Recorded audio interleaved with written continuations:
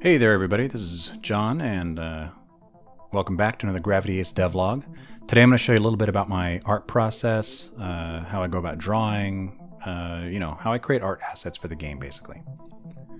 So what we're looking at here is a waypoint marker. It's placeholder art that I've had in the game for months, and I'm trying to replace it with something more in this style.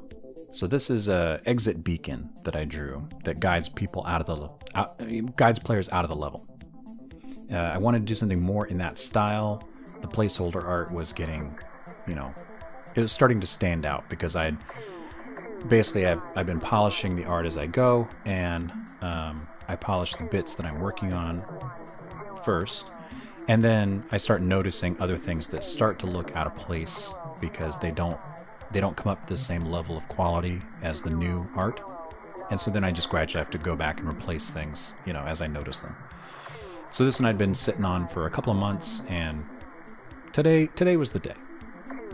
So what I'm trying to do here is, uh, well, you can see first of all I rotated it a bit. It's uh, 45 degrees, and I did that because I usually bake in things like um, I want this thing to kind of be floating up and down, and I usually bake that sort of thing into the animation. So uh, what I usually do is I'll rotate it and then and then have it bobbing up and down. Uh, but as you can see, I'm struggling. I changed the angle a little bit. And I'm trying to draw these vertical lines to show it rotating around its axis. I'll use those as a reference point later. But I'm just not, I'm having a hard time getting it to look right, to feel right. So you can see, I'm just, I'm just struggling here. So I, yeah, finally I just gave up um, erasing it. I drew it vertical just to make things easier. Uh, it's more symmetrical. And very quickly, using the other art as a reference guide, you can see I come up with something that I like. I like this. And at this point, I've decided, you know what, I'll just rotate it in the engine and have it bobbing up and down in the engine. It'll be fine. Adding some blinking lights here, a little bit of glow, and then I export it, put it in the engine as quickly as I can, just so I can go back and forth.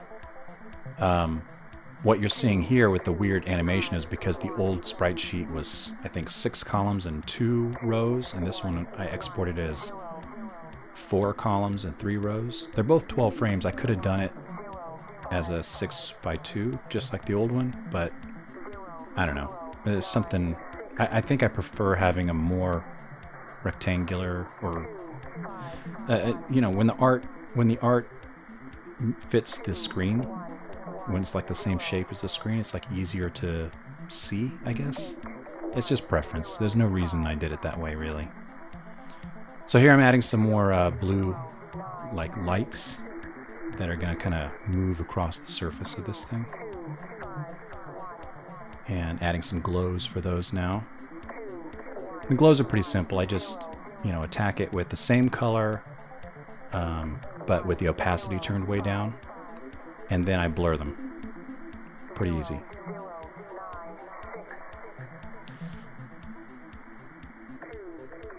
So at this point here, what I'm trying to do is, this is like a waypoint marker, right? It's trying to, it's trying to guide you, guide the player to it. So I wanted to draw some kind of like radio signals coming off of it. And again, struggling a little bit, just trying to find something that looks good. Just going through lots of different options. And it's fine. I'm, you know, you have to. For me, it took me a long time to learn how to. Uh, if something wasn't working, just to delete it and draw it again. Uh, there's something about deleting something that I've worked on for a while that was difficult to do. Um, but it's just easier for me uh, to, if something's not working, I just erase it and start again. Um, and even if I'm redrawing most of the same thing, uh, it ends up better the second time. Uh, you know, redrawing something has never been the thing that slows me down. I usually either, it usually either leads to some kind of happy accident where something turns out better uh, than it did the first time.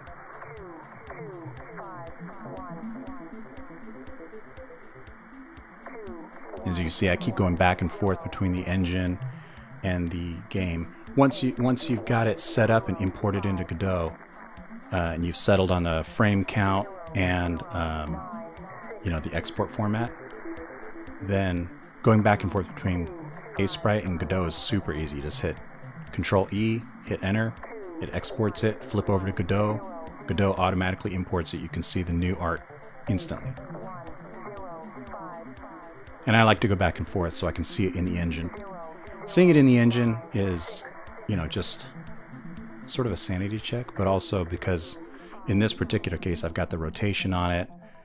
Um, I'm animating the floating up and down animation in Godot. And then also you can see it in the game, obviously. Yeah, so here's my first run through in the game.